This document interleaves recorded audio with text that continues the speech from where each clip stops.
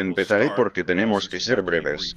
Ya he proporcionado toda la información pertinente y la documentación de respaldo al Comité de Inteligencia del Senado y a RRAW. Me informaron que toda mi información será registrada para registro público y compartida con el Congreso.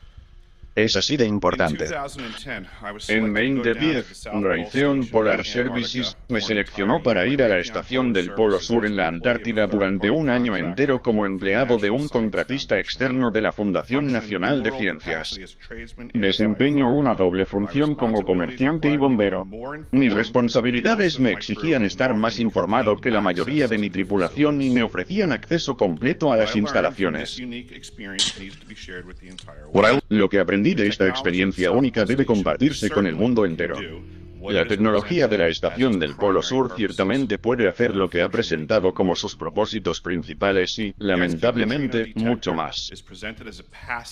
El detector de neutrinos IceCook se presenta como un dispositivo de escucha pasiva para los propósitos científicos tal como se presenta, pero amigos, voy a saltarme la persecución.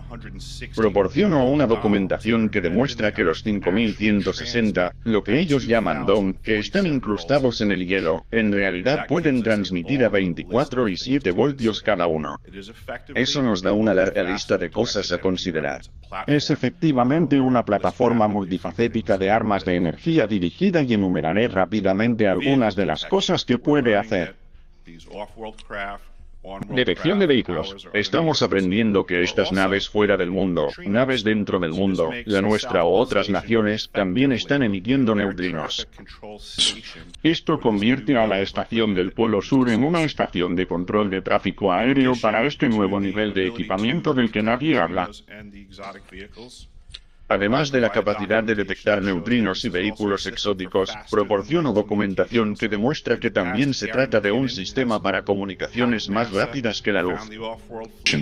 En el pasado, Gary McKinnon hackeó la NASA, encontró la flota extraplanetaria, la lista de capitanes, y es evidente que si tenemos vehículos más rápidos que la luz moviéndose por todo el sistema, vamos a necesitar vehículos más rápidos que la luz. Comunicaciones ligeras. Esta es esa instalación. Lamentablemente, tengo otras malas noticias. La temporada que estuve allí, del 21 al 21, pasamos de la construcción a las operaciones y el mantenimiento tanto en la estación elevada como en el conjunto de detectores.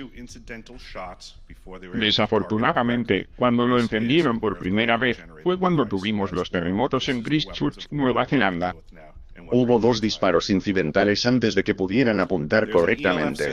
Este también es un dispositivo generador de terremotos.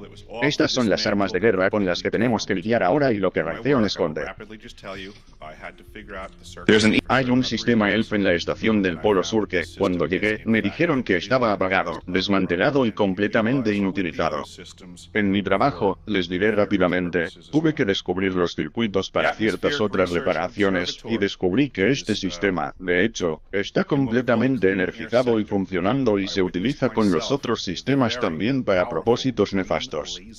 El Observatorio de Investigación Atmosférica está en lo que llamamos el sector del aire limpio. Fui testigo de un láser verde muy potente disparado desde lo alto de esta instalación hacia el cosmos.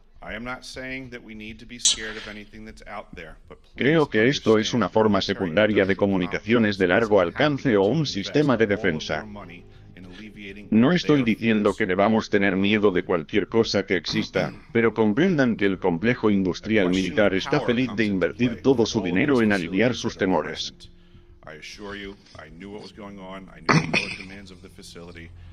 Una cuestión de poder entra en juego para todas estas instalaciones que están presentes. Te aseguro que sabía lo que estaba pasando. Conocía las demandas de carga de la instalación. Y todas estas novedades superan la demanda de los sistemas que me presentaron. Estoy haciendo la debida diligencia y la investigación. Creo que hay allí un suministro de energía secundario que es nuclear y que existía antes del inicio del Tratado Antártico, que prohíbe tales cosas, o que hay algún tipo de sistema de suministro de energía exótico que simplemente no está en el mercado. Verborea del tratado, por lo que niega la responsabilidad a las partes involucradas.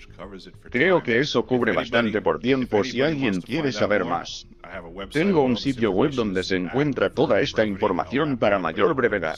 I'll wrap it up, but you can go to deciphering.tv. I've documented all of this stuff, and information is available. Thank you.